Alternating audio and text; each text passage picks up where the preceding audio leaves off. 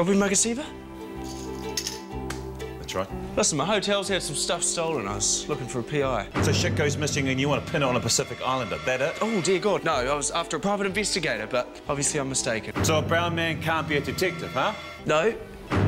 Yes, I... I don't... Are you a private investigator? Damn straight. Magasiva, PI.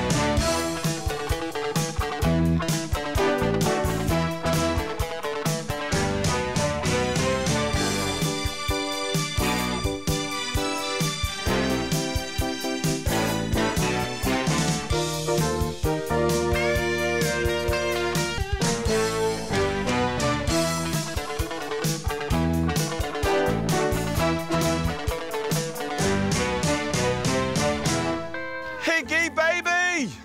Magasiva, where the hell have you been? You're late. Oh, lazy PI must be on island time. Is that what you're trying to say here, Higgy? No, no lazy PI on island time. You're actually late. Coconut? Excuse me? Coconut drink from the bar.